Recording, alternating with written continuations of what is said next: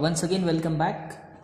In the last lecture, we saw in detail about the concept of uh, PMMC type instrument, MI type instrument, and uh, EMMC type instrument.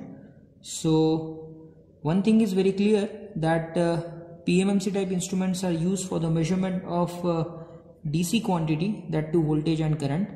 MI type instruments are used for the measurement of uh, AC quantity, that to voltage and current and in order to measure AC power we need to use EMMC that is electromagnet moving coil type instrument. In this lecture we will discuss in detail about the different mode to generate controlling torque in an analog instrument. As I told you that for the faithful operation of any analog instrument we required three uh, operating torque. First one is your deflection torque second one is controlling torque and third one is damping torque.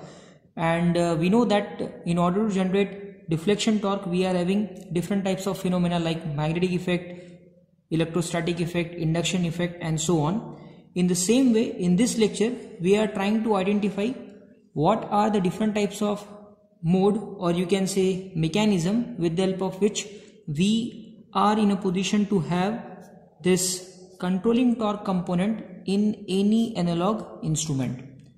Now as far as the domain of measurement is concerned, this controlling torque or the magnitude of controlling torque is produced in any analog instrument with the help of two different mechanism. First one is uh, spring control and second one is called as gravity control. So let us discuss each of them in detail one by one. So first one is spring control. Now what is spring control mechanism? In this type of arrangement, a spring is used in order to produce the required amount of controlling torque in an analog instrument. That's why here I have shown a schematic view of a simple spring control mechanism where spring is mentioned over here and this indicate the initial position of a pointer.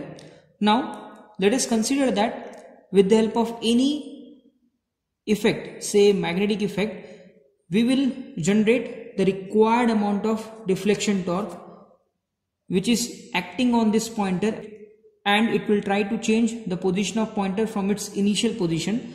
So let us consider that because of this deflection torque the pointer move from its initial position by a small angle theta. The next instant what will happen this spring will provide a controlling torque in opposition with the deflection torque so that the instrument when it is disconnected from the supply it will bring back the pointer to its initial position and we know that at equilibrium condition or you can say at steady state condition the magnitude of controlling torque is equals to its corresponding deflection torque. And at that instant this pointer will indicate the final value of unknown quantity. So this is the basic uh, what we can say phenomena behind this uh, spring control mechanism. Now let us try to analyze what are the requirement of spring which is commonly used for this mechanism the first requirement of spring is they should be non-magnetic in nature. Second thing is that they must be free from all mechanical stresses or all mechanical fatigue. Then the third thing is that whatever the material which we have selected for the fabrication of this spring they must offer very low value of resistance which is very very important. Why they offer very low value of resistance? The thing is that the analog instruments are designed in such a way that whatever the current which is flowing through the moving part of any analog instrument the same current is flowing through its corresponding spring For example, in case of PMMC type instrument, we know that we are having one moving coil and suppose that moving coil carry 2 ampere of current. So the same 2 ampere of current is flowing through its spring mechanism. The designing is done in such a way that they will carry the same value of current which is flowing through the moving part of that analog instrument and we know that the magnitude of this deflection torque is proportional to input current I. Now suppose if you select a spring which offer very high value of resistance then in that case it will reduce the magnitude of input current and as the magnitude of input current reduced it will try to reduce the magnitude of what? Deflection torque. That means in that case the pointer will not indicate the exact value of unknown quantity. Or I can say that the analog instrument will read less value of analog quantity as compared to its actual value so in order to overcome that particular problem, what we need to do? We need to select that type of spring or you can say we need to select those materials which offer very low value of resistance to the flow of current through it. So these are the basic uh, properties which are commonly what we can say required to have the fabrication of spring material for spring control mechanism and normally these three properties are available in uh, phosphor bronze material and that is the reason in uh, most of the cases the spring is made up by phosphor bronze material. Now let us try to analyze the behavior of this arrangement. Now in this case we know that theta which is nothing but the final output of any analog instrument or you can say deflection angle is proportional to the magnitude of deflection torque and we know that in this particular case the magnitude of controlling torque which is nothing but tc is proportional to what theta that means जैसे जैसे मेरा deflection torque का magnitude बढ़ेगा corresponding to increase in magnitude of deflection torque the magnitude of this angle is going to increase and जैसे जैसे ये angle की value बढ़ेगी, वैसे वैसे इसका opposing component which is nothing but a torque offered by this control mechanism also increases so I can write here as T C is equals to some constant of proportionality which is nothing but K C multiplied by theta where this constant of proportionality is also known as spring constant let that equation number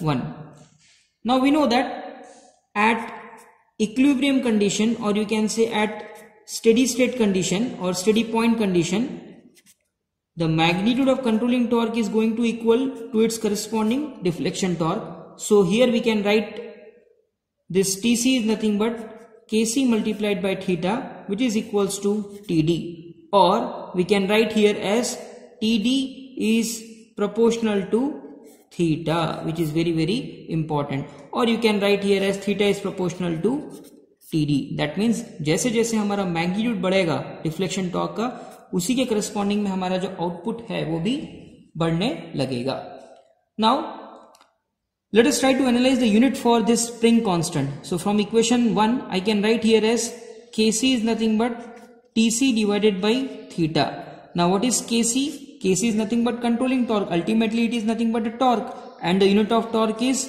Newton meter. Whole divided by theta. Theta indicate deflection angle. Suppose if you represent that angle in terms of degree, then the unit of spring constant is Newton meter per degree. Or in some cases, suppose if you indicate this angle in terms of radian, then in that case the unit for spring constant is Newton meter per radian which is very very important.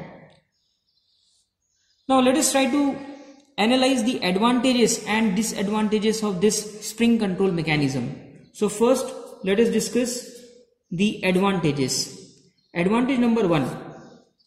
The first advantage of spring control mechanism is that this type of mechanism are implemented in any analog instrument irrespective of its position. That means we can implement this mechanism in horizontal dial setting type analog instrument as well as in vertical dial setting analog type instrument. Second thing is that from equation number 1 we can write the controlling torque or you can say the magnitude of controlling torque is proportional to theta or I can say that the magnitude of controlling torque is linearly vary with respect to theta which is very very important. So these are the two advantages of spring control mechanism. Now what are the disadvantages of spring control mechanism? First disadvantage is that the magnitude of controlling torque which is produced in this mechanism is affected by aging phenomena. That means over a duration of time this type of instrument need proper maintenance. Second thing is that the magnitude of controlling torque is affected by temperature which is very very important. Why the magnitude of controlling torque which is produced in this uh, arrangement is affected by temperature because the working phenomena of spring is affected by temperature. To be very frank, temperature and the stiffness of the spring are inversely proportional to each other. That means if the working temperature of spring increases, its stiffness reduced. And if the stiffness of spring reduced, the controlling torque or you can say the magnitude of controlling torque offered by that spring also reduces. And if the magnitude of controlling torque reduces automatically deflection torque magnitude increases. That means in that case the pointer will read more value of unknown quantity with respect to its actual value. So to overcome this particular problem we need to go for gravity control mechanism. So let us try to analyze the working and concept of gravity control mechanism. So the thing is that in a spring control mechanism, the magnitude of controlling torque is offered or produced with the help of spring arrangement. Advantages of this arrangement is that we can implement this in any analog instrument irrespective of its position that means it is applicable for horizontal dial setting as well as vertical dial setting and second thing is that the magnitude of controlling torque is linearly vary with respect to final deflection angle theta but disadvantages are it is affected by aging and Second is it is affected by temperature component. Now let us try to understand the concept of gravity control mechanism. Now in this arrangement the required amount of controlling torque or you can say the magnitude of controlling torque is produced with the help of gravity. That's why it is called as gravity control mechanism and here I have shown a schematic view of gravity control mechanism. So this indicate the initial position of pointer and to uh, balance the pointer weight here we have placed a counterbalance weight over here just opposite to a pointer arrangement and then this arrangement will indicate a control weight.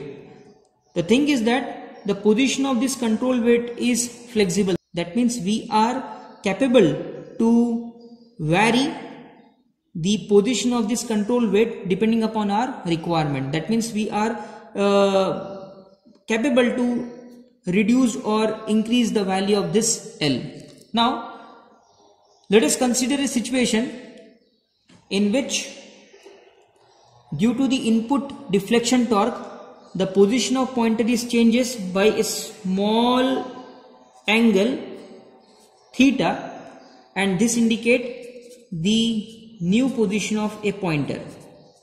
Now corresponding to this new position of a pointer, the entire arrangement will shift by an angle of theta. So the control weight now will act like this.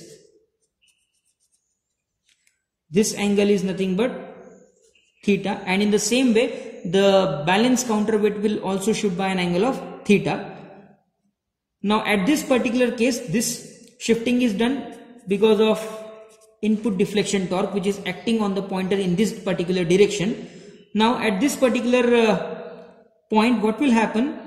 The weight or you can say the control weight which is acting at this point in downward direction is going to resolve in two component. First one is in this direction and second one is in this direction the magnitude of this component because this angle is indicated by symbol theta the magnitude of this component is w cos theta and the magnitude of this component is W sine theta. Now, from this diagram, it is very clear that this component of counterweight is responsible to bring back the pointer to its initial position, which is acting along its entire length.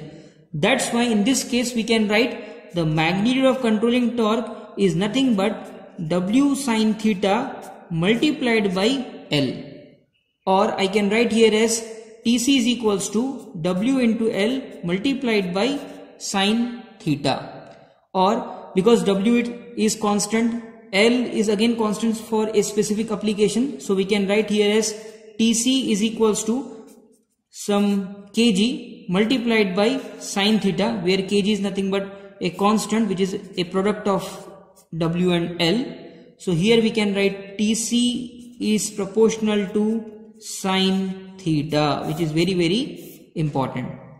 Now in this case as from this example it is very clear that W sine theta or you can say the weight or the component of control weight which is responsible to bring back the pointer to its initial position is produced with the help of gravity mechanism that's why it is called as gravity control mechanism. Now we know that at steady state condition or equilibrium condition the magnitude of controlling torque is going to equal to its deflection torque. So we can write here as uh, this kg into sine theta is equals to td or td is proportional to sine theta. Let this equation number 1. Now let us try to analyze the advantages and disadvantages of gravity control mechanism. First we will discuss advantages. The first advantage of gravity control mechanism is that it is not affected not affected by any aging effect. Why it is not affected by any aging effect? Because it works on the principle of gravity and it will remain constant throughout the year. Second thing is that it is not affected by any temperature phenomena. Why? Because it works on the principle of gravity and hence it is unaffected by temperature phenomena. Now, what are the disadvantages of gravity control mechanism? The first disadvantage is that this type of control mechanisms are implemented in only those analog instruments which are designed for vertical dial setting. Very, very important. That means इस type का mechanism या gravity control mechanism मैं उन्हीं analogue instrument में use करूँगा, जिसको मैं vertical dial setting के लिए बनाता हूँ। दैट मीन्स वो जो एनालॉग इंस्ट्रूमेंट है, वो इस तरीके से ही प्लेस किए जाएँगे, ना कि horizontally why because they work on the principle of gravity और ग्रेविटी का फिनोमिना वर्टिकल केस में क्लियरली इंप्लीमेंट होगा as compare to horizontal place then second thing is that the, in this type of uh, instrument from equation 1 it is very clear that the magnitude of controlling torque is proportional to sine of theta. That means the magnitude of controlling torque will follow a non-linear relationship with respect to final angle deflection theta which is undesirable. So these are the two disadvantages of gravity control mechanism and that is the reason in most of the cases because we don't have uh, the exact uh, what we can say application of analog instrument it depends upon the consumer. Maybe uh, he may use that analog instrument on vertical plane or you can say on horizontal plane. So depending upon its requirement what we need to do we need to uh, implement spring control mechanism rather than gravity control mechanism. And the second thing is that in case of uh, gravity control mechanism as the magnitude of controlling torque is non-linearly vary with respect to uh, final angle deflection theta. So that is the reason in most of the cases spring control mechanism is used to fulfill the requirement of controlling torque for any analog instrument. Thank you.